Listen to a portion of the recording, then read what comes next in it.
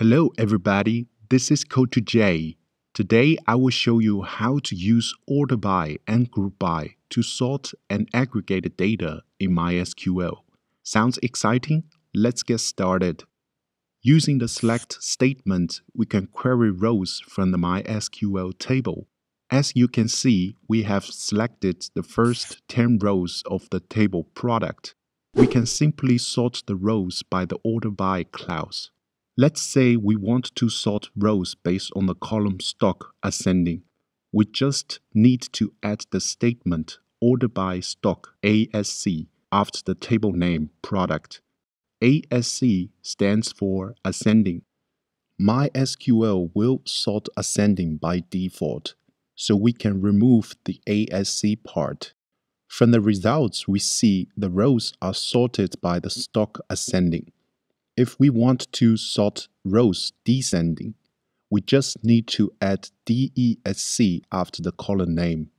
DESC means descending. Now, rows with larger stock appear at the top. For numeric columns, we can sort them by their values, while for string columns, we can sort them alphabetically. For instance, if we sort by the column name ascending, the results will order by name from A to Z, while sorting descending, it will order by the name from Z to A. Sorting by multiple columns can be simply achieved by adding column names with ascending or descending, then separating by a comma. For example, sorting the product by stock ascending, then by price descending, we can see the results has been ordered by stock ascending at first. Then products with the same stock level will be ordered by price descending. Sometimes we might be interested in data aggregation because it brings us many valuable insights. For example, how is our price distributed? For each price level, how many products do we have? And what is the stock situation?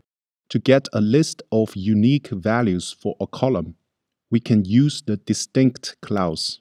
For instance, the command select distinct price from product will return the unique value of the column price. The result shows there are in total 199 different prices.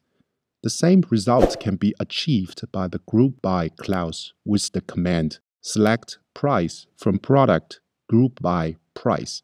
It basically groups all the rows into different partitions based on the column price.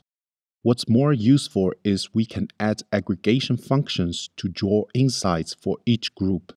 For example, we can see the total number of products for each price group by adding comma, count, parentheses as their sign, as num product. For simple visualization, we add limit 10 to see the first 10 rows.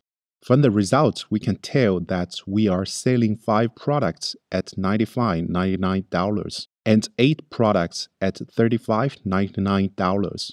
We can add more aggregation functions, for instance, comma, min, stock, as minimal stock calculates the minimal stock level for each price group.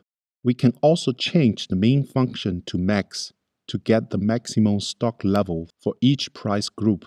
There are a variety of aggregation functions provided by MySQL. Basically, we can add as many aggregation functions as we need. You can check out the reference link in the video description. All the MySQL techniques we have learned so far, such as selecting, filtering, sorting, and aggregating, are explained in a separate video. It doesn't mean to prevent you combine them. Instead, in reality, we have to apply them together to achieve our goals.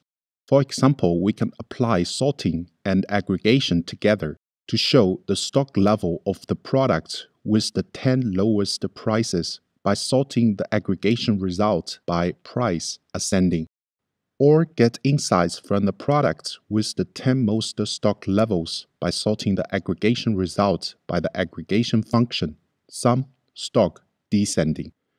That's it. You have learned how to use order by and group by to sort and aggregate data in MySQL.